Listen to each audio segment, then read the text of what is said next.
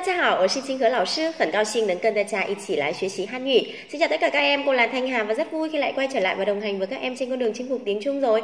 À, thế thì trong chủ đề của bài ngày hôm nay chúng ta sẽ cùng đi tìm hiểu tên của một số loại đồ ăn trong tiếng Trung thì chúng ta sẽ có những cái đồ gì nhá và cách gọi của nó như thế nào. Chúng ta sẽ cùng đi tìm hiểu với cô trong bài học ngày hôm nay. Và món đầu tiên chúng ta sẽ cùng đi tìm hiểu tên với cô. Chứ chứ sầm À, đây là gì nhỉ?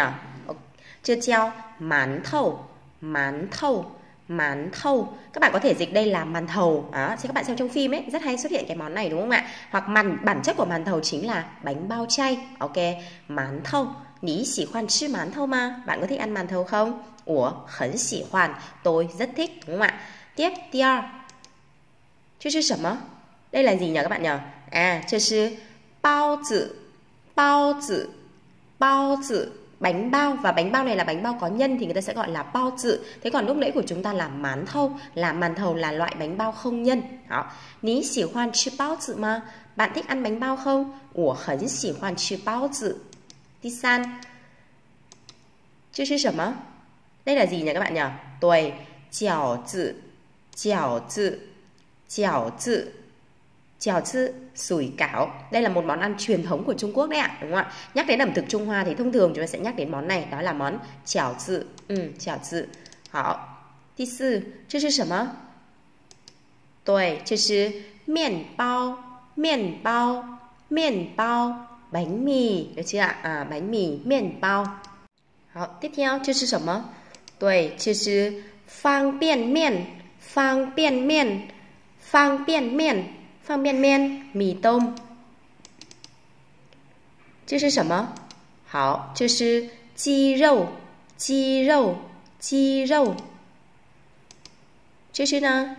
对，这是猪肉，猪肉，猪肉。牛肉，牛肉，牛肉。好，这叫米粉。mí phận phở hoặc là bún nhé à, thông thường cái này hay dịch là phở nhiều hơn mí phận chi tan chi tan chi tan 这是鸡蛋汤，鸡蛋汤，鸡蛋汤。好，这是毛蛋，毛蛋，毛蛋。 这是面条，面条, miền条. Hảo. Và chúng ta có động từ ăn trong tiếng Trung là gì đây ạ? Chư, chư. Ví dụ chúng ta muốn hỏi một ai đấy là Nì yao chư sẩm Nì yao chư sẩm Nì yao chư sẩm Bạn muốn ăn gì? Vậy, vậy lúc nãy cô đã dạy các bạn rất là nhiều các từ vựng để ăn uống rồi đúng không? Chúng ta có thể thực hành nhé. Ví dụ tôi muốn ăn màn thầu chúng ta có thể nói là Ủa yao chư mán thâu Tôi muốn ăn như vậy là thông qua bài học ngày hôm nay chúng ta đã cùng biết được tên của một số loại đồ ăn cơ bản nhất mà chúng ta hay gặp trong đời sống hàng ngày rồi đúng không nào?